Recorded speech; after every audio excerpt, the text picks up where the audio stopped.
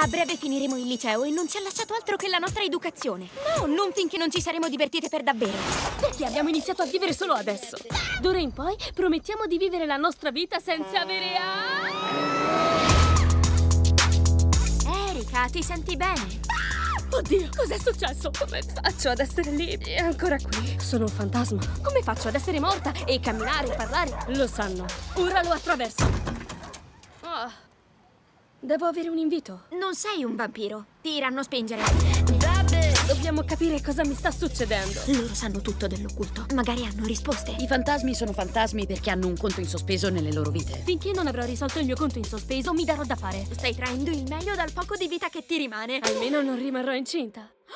Aspetta, posso? Esistono i fantasmini? Una scappatoia. Che scappatoia? Posso restare qui se sono più famosa da morta che da viva? Per la cronaca, gente, io ho paura.